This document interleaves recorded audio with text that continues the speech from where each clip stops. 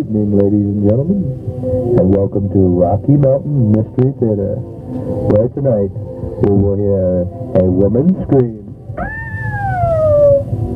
and a man say, Well, the brush man.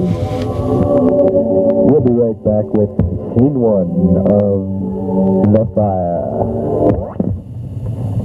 Oh. Ow. Uh,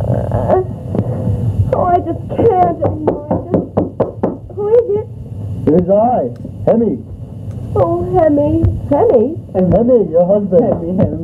Hemi. Are you having trouble in there? Again. Really now? Yes. Gee whiz, it seems that, you know, every time you try to uh, make a doo-doo, you, you, you know, really sound like you're getting, you know, Oh, what's Hemi. going on. What am I going to do? Well, I have something here for you. What's that?